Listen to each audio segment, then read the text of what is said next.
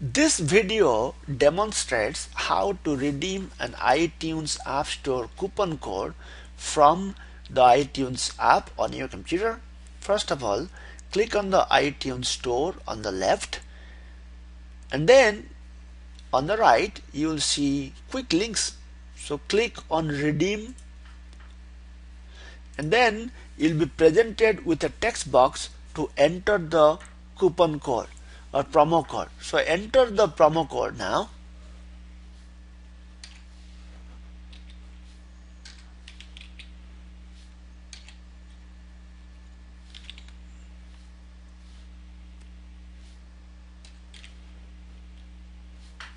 So we enter the coupon code.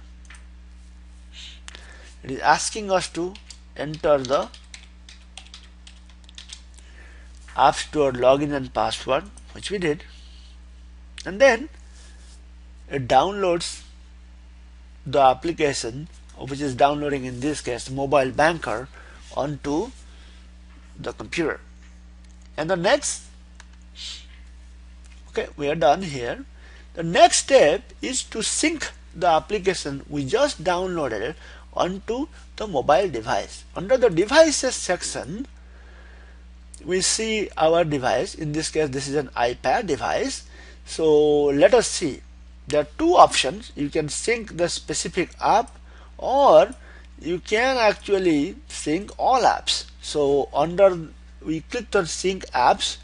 So we see that uh, there are two applications specifically the mobile banker which we just downloaded that we would like to sync.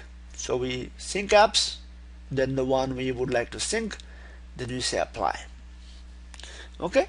And then we say transfer. So this is the process of going from a coupon code into redeeming the coupon code syncing up the application um, transferring the application onto the mobile device. And the process on the iPhone and iTouch is similar to what we just covered for iPad. For this and for great uh, mobile applications, please visit businesscompassllc.com. Thank you very much.